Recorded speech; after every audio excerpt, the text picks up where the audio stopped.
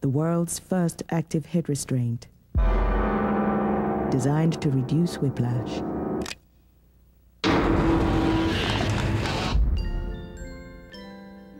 From Saab.